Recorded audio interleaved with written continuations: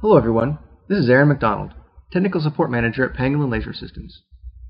In today's Pangolin tutorial video, we will be showing you how to use the Capture Polar visualization software together with our Beyond Laser Control software. Capture Polar is a professional level visualization software that allows you to recreate your laser show setup and play this back to your clients without the need to actually set up the show in a live studio environment. In addition, Capture Polar is very easy to use and allows you to create a standard laser setup in very little time. In this tutorial, Lars, the creator of Capture Polar, will introduce you to the basics of using lasers inside their software, and then I'll show you how to set up Beyond to work with Capture Polar, and also how to visualize atmospheric, graphical, and laser mapping effects. To begin, I will turn it over to Lars at Capture Polar, who will introduce you to the basics of how to visualize a basic laser setup inside of the Capture Polar visualization software. Hi, I'm Lars from Capture Sweden and this is a video that shows how you can use our design software Capture together with Pangolin's laser show design software Beyond. Capture is a 3D CAD software specialized for the design of stage lighting, laser and multimedia shows. It has been designed to be really user-friendly and gives you a precise design environment where at the same time it's also easy to do any kinds of experiments. In the first part of this video I'll be showing you the capture side of things, while in the second part of it the Pangolin team will show you how to work with Beyond. Capture communicates with Beyond over the network or within the same computer. Since I've already got Beyond running in the background, you can see the laser feeds coming in in the Media tab. In order to make use of it, we will need to add a laser projector. This is done through the Library tab under the Media Fixtures branch. I will pick a Kvant laser projector for the purpose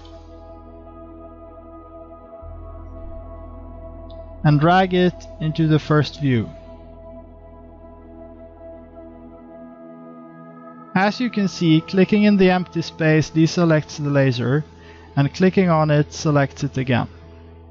I can also navigate the view by using the green panoration and zoom buttons in the lower right corner of the view. At this point it's all wireframe 2D though, so I'm going to change the second view to be in perspective and live mode. As you can see, we've already got a white beam of light coming out of the projector, and this is actually the test card, so I'm going to add a couple of objects to shoot on. I'll do this by dragging a few basic shapes from the library. You can find them under Objects and Forms. And I will start with the box that I drag and drop into the top view. I use the Properties shortcut under the red spanner button to get to the box's properties. Here I will change the width, height and depth of the box so that it forms a basic floor. It may be worth noting at this point that while my computer is set to metric units, it's also perfectly okay to write dimensions in feet or inches here as well. Next, I'll move the projector up above the floor and as you can see the test card becomes much clearer. Obviously we want to project what we've designed in Beyond and this is done by changing the media property of the projector to one of the laser feeds available.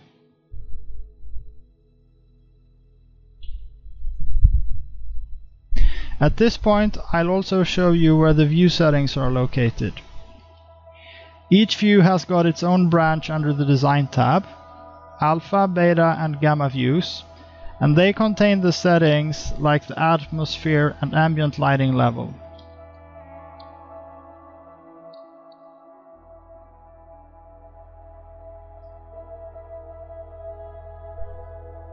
What makes Capture so powerful is how easy it is to select and move anything around and how Capture visualizes the results of those changes. This way it's easy to try out projection angles and distances. By the way, I'm using the right mouse button here to focus the projector while it's selected, and the little red power button which reveals the built-in control pane where you can adjust the zoom and scale. Finally, I'm also going to import the model of a building which I previously exported from SketchUp in the OBJ file format. Since I've already got a project open, I'm going to do this using the file extract function in which I select the OBJ file I wish to import. This opens another window called the extract window which contains a preview of what you have imported. In this window select the items you wish to import and use the red arrow button to drag and drop them into your design.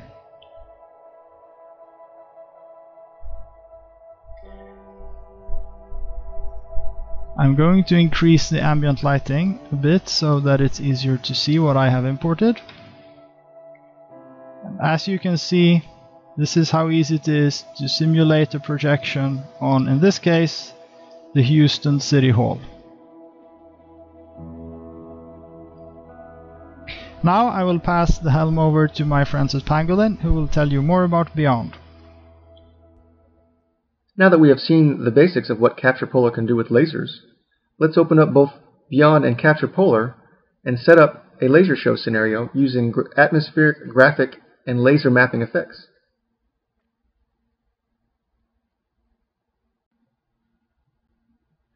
The first thing you will do is either create a virtual venue using previous capture tutorials or open a virtual venue that you've already created. I'll be opening the project you saw in my introduction.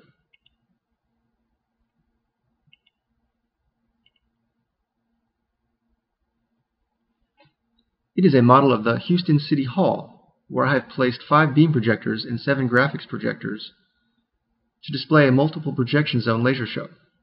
I have removed one of the graphics projectors so that I can show you how to add and set up a projector within the Capture Polar project. Now that you have your virtual venue, you want to select and place a virtual laser projector within that venue. This will basically recap what Lars showed you. First, you will go over to the Library tab in the lower right-hand window. Go down to Media Fixtures and expand that list. Here you will find a list of laser manufacturers. Scroll down till you find your laser manufacturer. You will open up a list of laser projectors select yours from the list, and drag it onto one of the other three Capture Polar windows. I prefer to choose the top-down view so that you can, you can see roughly about where in the venue you're going to put it.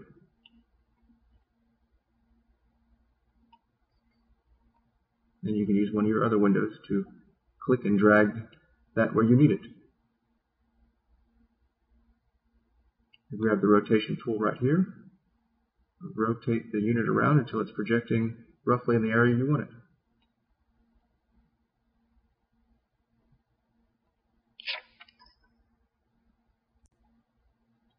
Now that we have our virtual projector within our virtual venue, we will open Beyond and set up a projection zone to accept that projector.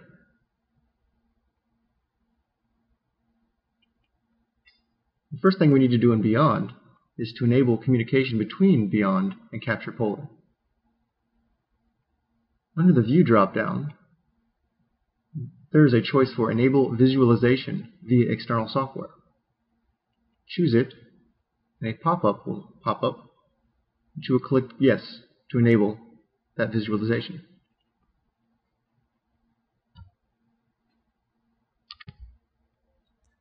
Next, we will go into our projection zone settings under the Setting drop-down, Projection Zones. Here we are setting up what projection zones will communicate with Capture Polar and giving them a fixture number, so Capture Polar can route the output from Beyond's projection zone to the simulated fixture in the Capture Polar project. I'll be working with the, the guest projection zone. Make sure you highlight the, the zone you're working with. We're going to click on the Advanced tab. There is a place for external visualization where you can assign the projection zone a fixture number. This is the number you will use in Capture Polar to match the virtual projector up with your true projection zone.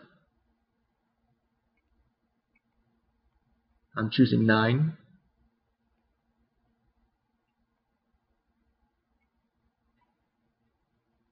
Now we assign media input to the virtual projectors in Capture Polar.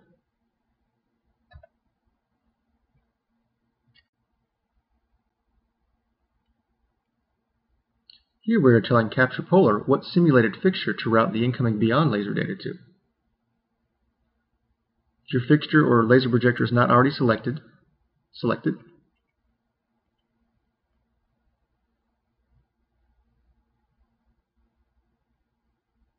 Down here in the right hand corner, under the Design tab, you will click Selected Items. What this is doing is bringing up the properties for any item that is selected we were to click on the middle projector and scroll down, you will see its media is set to Pangolin Virtual Laser 6.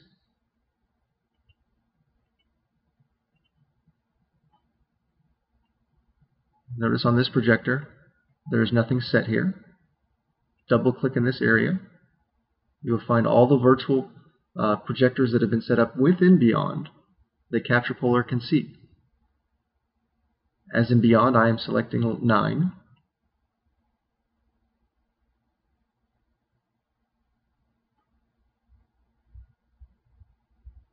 Now you are basically ready to view laser content in Capture Polar.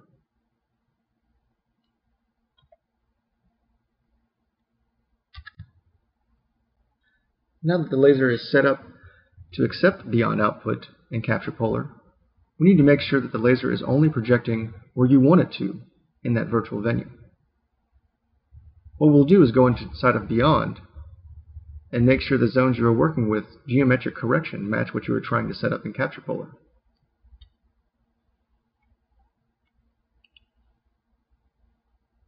Your settings, projector settings. You want to make sure that all your laser projectors are set up to full output.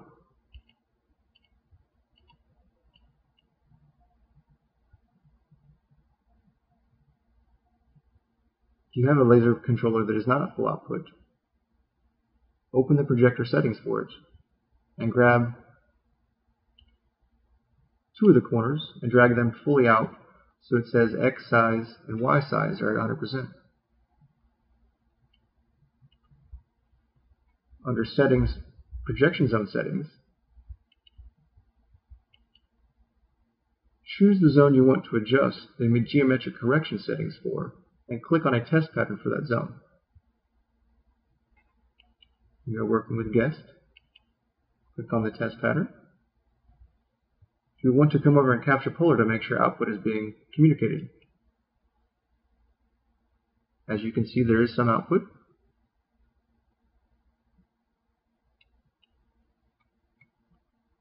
Under the Geometric Correction tab, you can choose various options. What I'm going to try first is Freeform Mesh.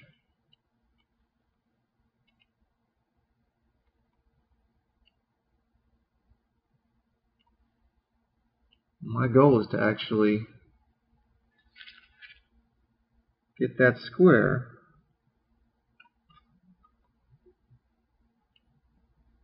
right around the corners of that building.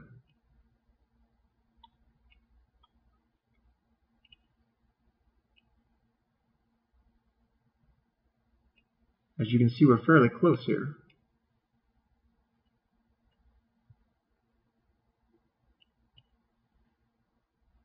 One thing to think about if you've only got a single screen for a monitor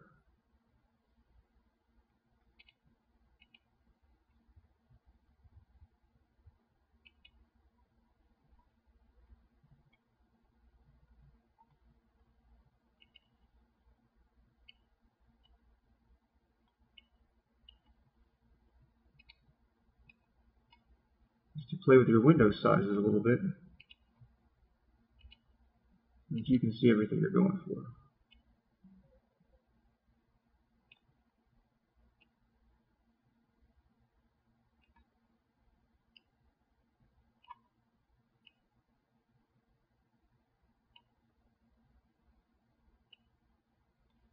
Now the geometric correction of beyond matches what I'm trying to project on and capture polar.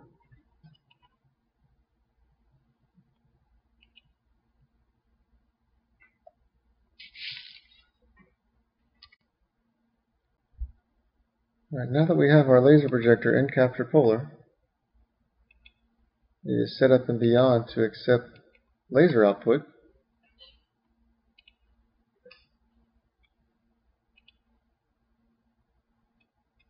We can see that output in Capture Polar. We need to create some laser content in Beyond to be displayed in Capture Polar.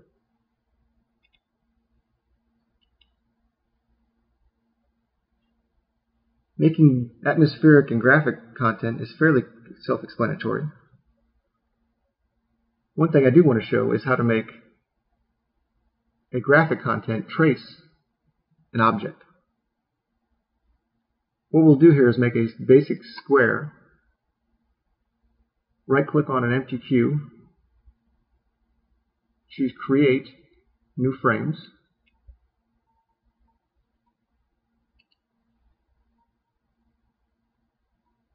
Depending on what kind of trace you want, you can either use the polygon tool or the square tool. I prefer to use the polygon tool because what the effect we're going to do is it takes the amount of points and draws a little bit of them at a time so that you get a small section of laser going around an object. The more points you have,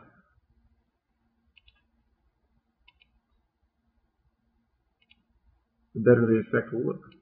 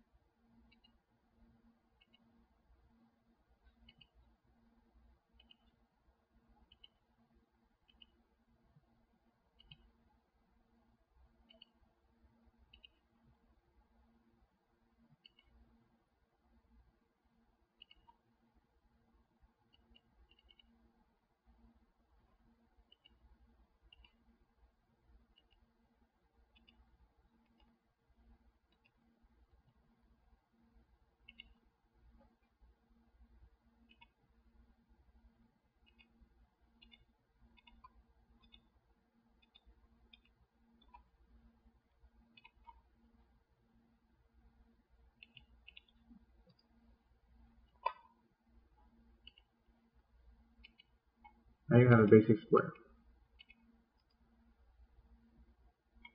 What you want to do is route that cube to the projection zone you set up. Right now it's going to main graphics. We want it to go to the guest zone. Now if I click on that, look over here, you see that there is a square basically tracing the outside of that building.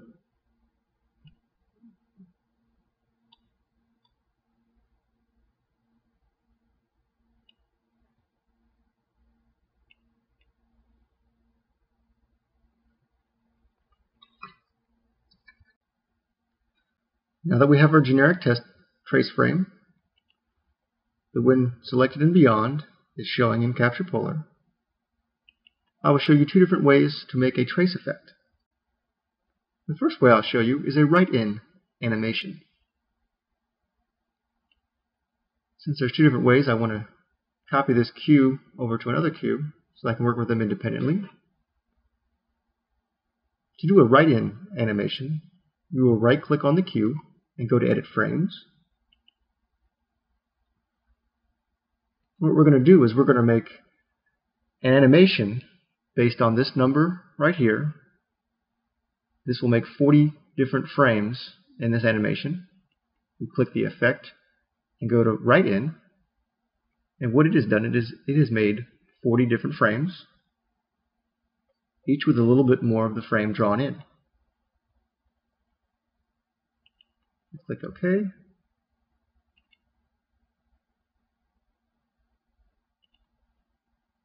Now you can see that that is tracing a line around our surface of our building.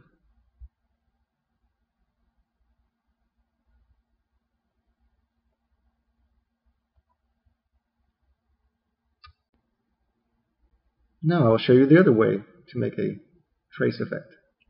Click on my second cube, we're going to make an effect. Click on the Effect tab.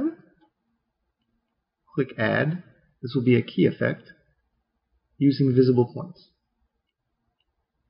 What this will be doing is telling the laser cue how many of the points within the cue or laser frame to be drawn at what time based on this 0% to 100% timeline, which is also based on this time period. When you double click on the timeline, you're putting key points. I'm going to make three key points so that I can trace all the way over and all the way back. The first key point should have zero or just a little bit at the start. I find that 3 makes a good number to give you a, a decent line. The closer to 0 you have, the closer to a, uh, a point you have.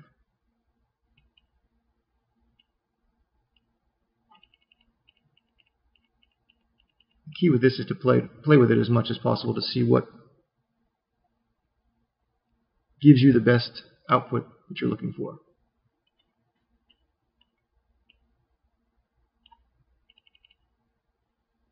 As you can see here, the it is going back and forth. I'm at a, a period of one, so it's doing it fairly quickly.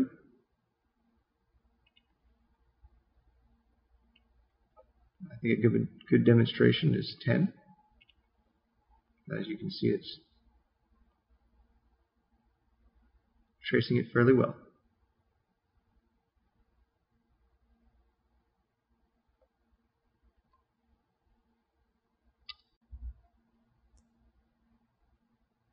Now that you've seen two ways to make a trace effect, I'm going to demonstrate a full pre-programmed timeline show that includes graphics and aerial effects outputted from beyond and displayed in Capture Polar.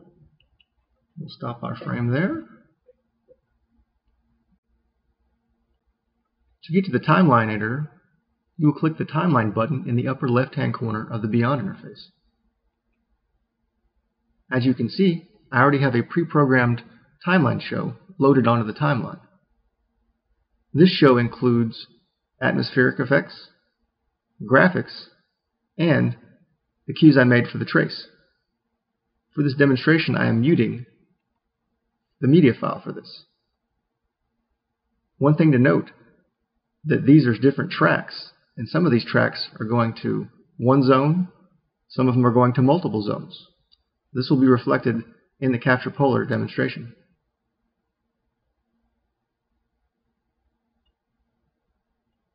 Click play on the Beyond user interface. Make sure you have Show It Now clicked. Click Capture Polar. And here's the output. Notice that I have one graphics projector in the middle, two graphics projectors on each side, and two trace projectors outside of those. The middle graphics projector is doing graphics and a trace. And we have five beam projectors. And this concludes today's Pangolin tutorial video on how to work with Beyond to communicate with Capture Polar visualization software. If you have any further questions, please do not hesitate to contact us at contact at pangolin.com. Thank you.